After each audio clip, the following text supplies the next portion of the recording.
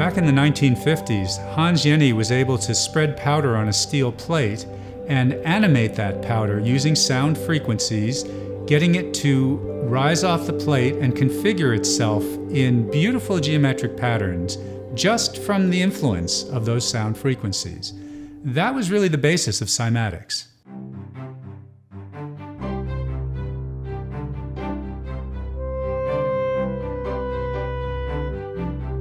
Cymatics is a study of wave phenomena and vibration, so it's a branch of physics.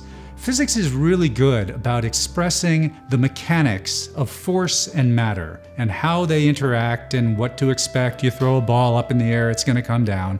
But science has never been able to even approach how the unmanifest comes into manifestation.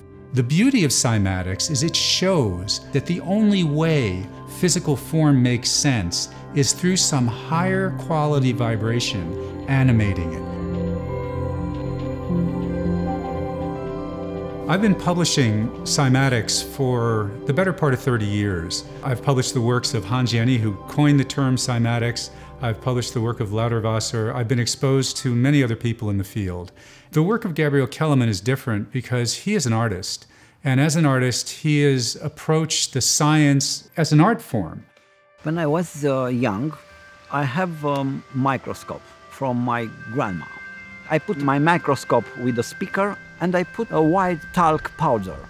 And I uh, put the sound inside, continuous sounds, and I observe appear some very interesting worms.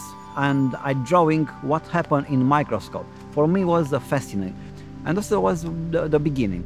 Kelemen shows how nature actually responds to invisible forces he works with a sense of beauty and adoration of nature, and that comes through his work, so it's inspired. It's just fabulous. It's brilliant, it's beautiful, and it is breathtaking. The cymatic principle is very easy to see. I work with a special device with a spherical resonant cavity, and I work with the one oscillator with one single waves, and I, I obtain a structure pentagonal. After a few days in my lab, I was surprised. I appeared the, the human face. It's fantastic.